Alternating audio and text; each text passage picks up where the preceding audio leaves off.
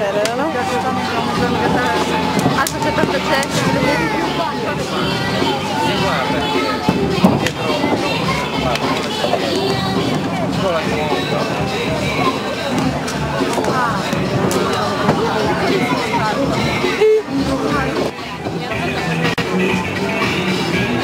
Pensavo che adesso la PlayStation gazzata. E proprio